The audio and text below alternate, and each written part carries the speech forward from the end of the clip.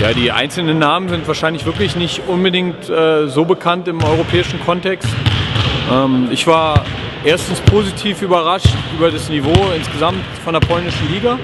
Also das sieht sowieso ähm, sehr ordentlich aus, was da für Basketball gespielt wird.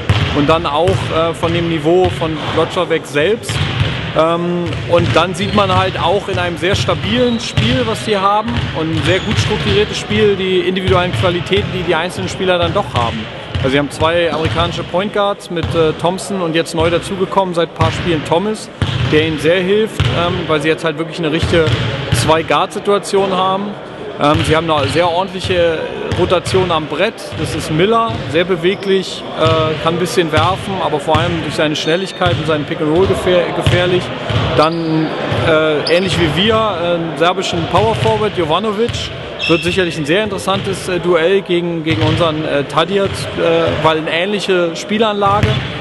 Hoffentlich auf unserer Seite mehr Talent, äh, aber sicherlich sehr interessant im 1 gegen 1 zu beobachten. Ähm, und dann Hicks, der jetzt äh, gerade gestern ein sehr, sehr gutes Spiel gespielt hat für sie, der äh, so ein undersized Big Man ist, wie man es nennt. Ähm, kräftig, beweglich, schnell, auch definitiv genug Talent, uns weh zu tun.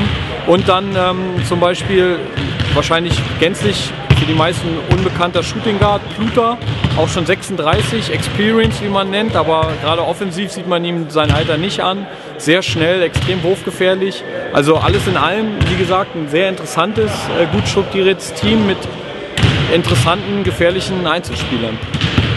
Also ich würde im Moment sagen, dass die BBL deutlich wilder ist als zum Beispiel die polnische Liga, wie sie sich dargeboten hat in den vier, fünf Spielen, die ich jetzt gesehen habe. Ähm, und äh, ja, also eher würde ich dann vergleichen, die Mannschaft vielleicht so wie Trier im Moment äh, spielt, sehr strukturiert, wie Bamberg äh, spielt von der Struktur her und von der Genauigkeit, wie Frankfurt spielt. Also es ist so, dass wir sicherlich an so einen Spielstil gewohnt, äh, äh also gewohnt sind, dagegen zu spielen, gerade auf europäischem Niveau.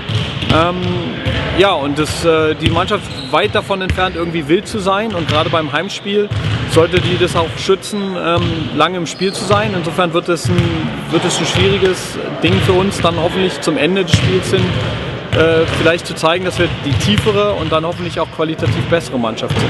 Grundsätzlich ist ja unser Wunsch, dass wir es möglichst schaffen, die meisten Gegner mit unserem Spielstil zu dominieren und unser Spiel durchzudrücken.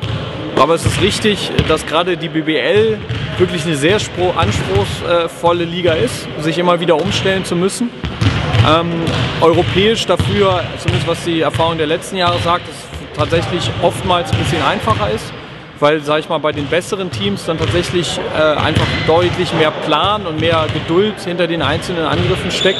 Und ähm, da ist dann wieder unsere Verteidigungskonzeption halt eigentlich sehr wirksam, meistens, weil wir ja sehr gründlich Systeme vorbereiten und eher verwundbar sind, wenn Mannschaften anfangen, uns eins gegen eins zu attackieren. Ähm, die werden auch die BBL-Spiele gesehen haben und werden sicherlich auch versuchen, da anzusetzen. Insofern vielleicht gehen die auch ein bisschen früher aus ihren Strukturen raus und versuchen unsere vermeintlichen Schwachpunkte zu attackieren. Das müssen wir dann während des Spiels natürlich möglichst schnell erfassen und dann äh, auffangen.